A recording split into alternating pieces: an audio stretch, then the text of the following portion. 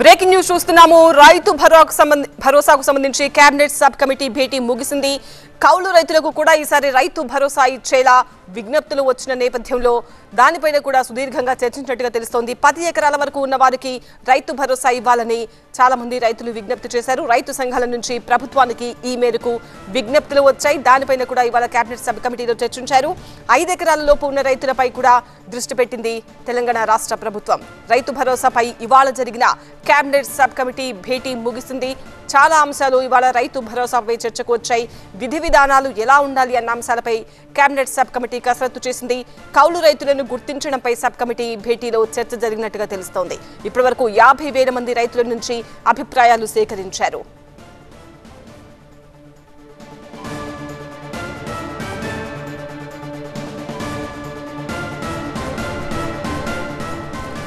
TV nine ప్రతినిధి శ్రవణ్ మరింత సమాచారం అందిస్తారు. శ్రవణ్ ఇవాళ కేబినెట్ సబ్ కమిటీలో రైతు భరోసా పైన చర్చించినట్టుగా తెలుస్తోంది.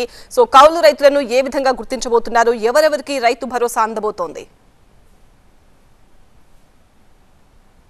ముందు విడుదల చేసిన మేనిఫెస్టోలో ప్రధానమైన అంశము రైతు భరోసాకు సంబంధించి రైతులకు సహాయం అందించే అంశం గురించి.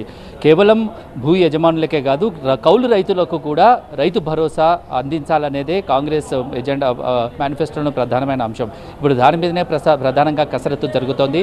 రైతు భరోసాని పదివే పదివేల నుంచి రైతు గతంలో ఉన్న రైతు బంధుని పదివేల నుంచి పదిహేను వేలు పదిహేను వేలకు పెంచుతూ దాన్ని రైతు భరోసాగా మార్చారు అయితే రైతు భరోసాలో అర్హులను ఎలా గుర్తించాలి? గత ప్రభుత్వ హయాంలో ప్రతి వారికి ఆ రైతు బంధు పేరుతో నిధులను కేటాయించారు డబ్బులు చెల్లించారు.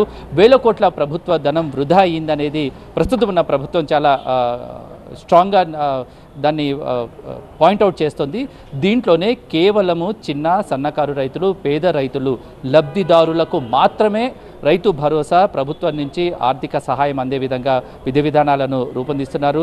రేవంత్ రెడ్డి ఆగస్టు పదిహేను లోపుగా రైతు భరోసాకు సంబంధించిన విషయంలో కూడా రైతులకు చెల్లించాలనేది కూడా చాలా స్ట్రాంగ్గా ఉన్న నేపథ్యంలో ఇక్కడ రైతు భరోసా విషయంలో ఎటువంటి విధి విధానాలను రూపొంది రూపొందించాలనేందుకు ఎందుకంటే ప్రభుత్వం రైతుల్ని గుర్తించడం సులభం అవుతుంది. కానీ కౌలు రైతులను గుర్తించడం ఇక్కడ ప్రధానమైన సమస్య. రైతుల డేటా ప్రభుత్వం వద్ద ఉంటుంది ధరణిలో ఉంటుంది ఇతర రికార్డులో ఉంటుంది. కానీ కౌలు రైతులకు సంబంధించిన ఎటువంటి డేటా ప్రభుత్వం ప్రస్తు ప్రస్తుతం ప్రభుత్వం వద్ద లేదు. ధరణి కంటే ముందు కౌలు రైతుల డేటా కూడా వివిధ రకాలుగా ప్రభుత్వం వద్ద డేటా ఉండేది. కానీ ధరణి వచ్చిన తర్వాత కేవలం భూ యజమాని పేరు మీద మాత్రమే కాలం ఉంది. రైతు కౌలు రైతులకు సంబంధించినటువంటి కాలం లేకపోతే ఆ డేటా ప్రస్తుతం ప్రభుత్వం వద్ద లేదు. సో వీళ్ళని ఎలా గుర్తించాలి? గుర్తించిన వాళ్ళ వీళ్ళ దా- దానికి ఎలాంటి చట్టబద్ధత ఉండాలనే విషయమే ప్రధానంగా చర్చ జరిగింది. అంటే ఇప్పుడు కౌలు రైతులు ఎవరైనా భూమిని యజమాని నుంచి కౌలు తీసుకున్నప్పుడు ఆ కౌలు రైతులు భూ యజమానితో ఒక అగ్రిమెంట్ను ఖచ్చితంగా తీసుకోవాలి. అగ్రిమెంట్ తీసుకున్న దాన్నే ప్రభుత్వ రికార్డ్స్ ప్రకారము ఆ కౌలు రైతులుగా గుర్తించాలని గుర్తిస్తే ఎలా ఉంటుందనేది ఒక సూచన ప్రాయంగా ఒక ఒక అభిప్రాయం అయితే వ్యక్తమైంది కేబినెట్ సబ్ సబ్ కమిటీలో ఈరోజు జరిగిన దీంట్లో.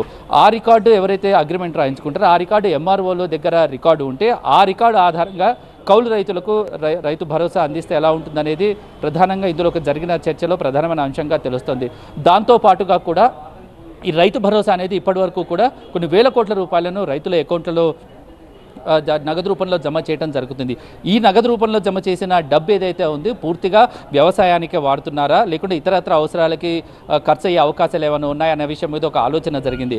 ఒకవేళ రైతు భరోసా అనే డ- నగదు ఏదైతే ఉందో డైరెక్ట్గా అకౌంట్లలో రైతుల అకౌంట్లలో కాకుండా రైతులకు ఇంకో ఏవి ప్రత్యామ్నాయంగా వేరే రకంగా పదిహేను వేలను అందే విధంగా చూస్తే ఎలా ఉంటుందంటే నగదు రూపంలో ఇవ్వకుండా రైతులు మార్కెట్కి ఆ ధాన్యాన్ని తీసుకొచ్చినప్పుడు అమ్మే విషయంలో అప్పుడు దాని రేట్లో కలిపి ఇస్తే ఎలా ఉంటుందని విషయాన్ని కూడా ఒక సూచనప్రాయంగా ఆలోచన జరుగుతుంది.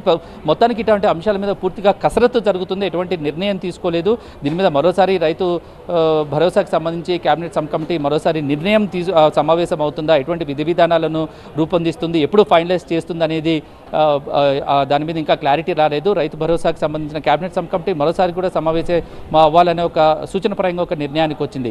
రెండే రెండు అంశాలు కౌలు రైతులను ఎలా గుర్తించాలో? నగదు రూపంలో ఇవ్వాలా? లేదంటే ప్రత్యామ్నాయంగా రైతులకు లబ్ధి కలిగే విధంగా చేయాలి. ఒకవేళ నగదు రూపంలో కాకుండా రైతులకు ప్రత్యామ్నాయంగా లబ్ధి కలగాలంటే ఎలాంటి లబ్ధి కలిగే విధంగా చూడాలి? అంటే రైతులు మార్కెట్ల నుంచి ధాన్యాన్ని తీసుకొచ్చినప్పుడు తమ పంటలు అమ్మేటప్పుడు రైతులకు చెల్లించే నగదులో కలిపి చెల్లించాలా? లేదంటే భూ యజమానులకే రైతు భరోసా చెల్లిస్తే భూ యజమానులకి కౌలు రైతులకి మధ్య ఒక ఒప్పందం లాంటిది ఏదైనా కుదిర్చే ప్రయత్నం ఉంటే వాళ్ళ మధ్య సంబంధించిన అగ్రిమెంట్ ఆధారంగా ఎటువంటి నగదు చెల్లింపులు వాళ్ళ మధ్య ఉంటే జరుగుతుందా?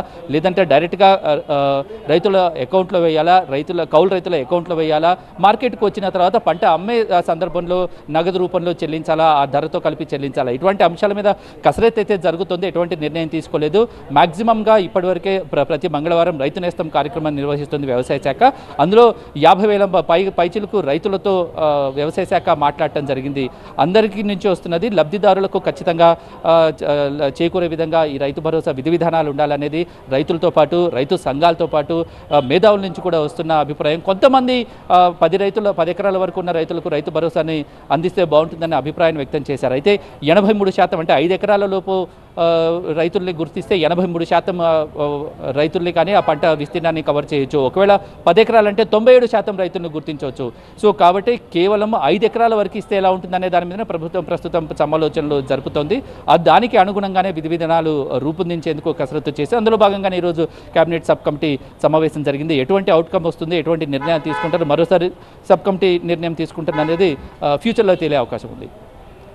రైట్ శ్రావణ్ అది రైతు భరోసాపై కేబినెట్ సబ్ కమిటీ అయితే భేటీ ముగిసింది. కౌలు రైతులను గుర్తించడంపై సమావేశంలో చర్చించినట్టుగా తెలుస్తోంది. వ్యవసాయం చెయ్యని భూములను రైతు భరోసా నుంచి తొలగించబోతున్నట్టుగా తెలుస్తోంది.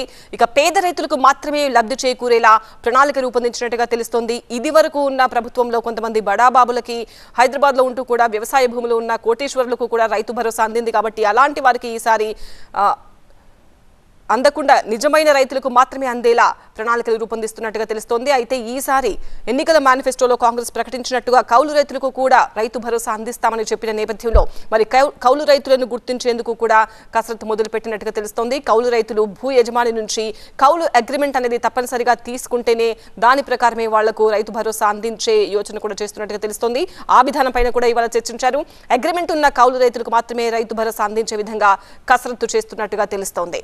అయితే పది ఎకరాల వరకు ఉన్న రైతులకు రైతు భరోసా ఇవ్వాలని చాలా మంది రైతు సంఘాల నేతల నుంచి విజ్ఞప్తులు వచ్చాయి. ప్రభుత్వం మాత్రం ఐదు ఎకరాల వరకు మాత్రం రైతు భరోసా ఇవ్వాలని ఒక ఆలోచనగా పెట్టుకున్నట్టుగా తెలుస్తోంది. ఇంకా కంప్లీట్గా విధి విధానాలు అయితే రూపొందించలేదు. మరొకసారి కూడా సమావేశం కాబోతున్నారు. సమావేశం అనంతరం అందరి అభిప్రాయాలు తీసుకున్న తర్వాత రైతుల నుంచి రైతు సంఘాల నుంచి వస్తున్న వినతులు అన్ని స్వీకరించిన తర్వాత అప్పుడు చర్చించి విధి విధానాలు రూపొందిస్తారు.